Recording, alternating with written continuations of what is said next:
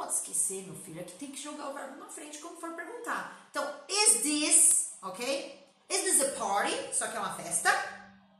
Is that a party? Aquilo lá é uma festa. Parece muito nos vídeos, nos filmes, nas séries. Vocês vão começar a ver. Só que o is vai na frente, porque o americano não vai falar assim, ó, gente.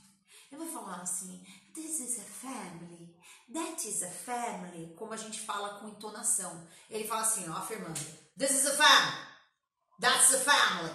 E quando vai perguntar, ele não vai perguntar, ele vai jogar o is. Is this a family?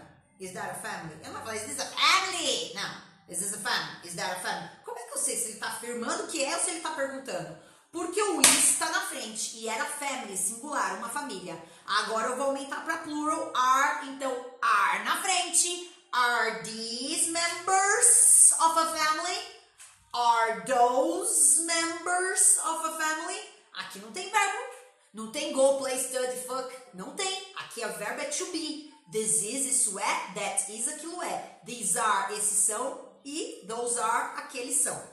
Se você focar isso nos objetos que estão em volta de você nesse momento, você começa a apontar dando dedada, e vocês sabem que comigo na dedada é que funciona. Você não vai esquecer jamais. Foi assim que eu estudei, foi assim que eu cheguei na fluência, é assim que você vai chegar. Em 33 minutos hoje, eu te ensinei this is, that is, these are e those are. Isso aqui, pode escrever aí pra mim. Quanto tempo que demora nas escolas tradicionais? É, eles enrolam muito. Eles ensinam 3, 4 aulas só de this, depois de ser não sei que semestre vai ensinar o that, entendeu?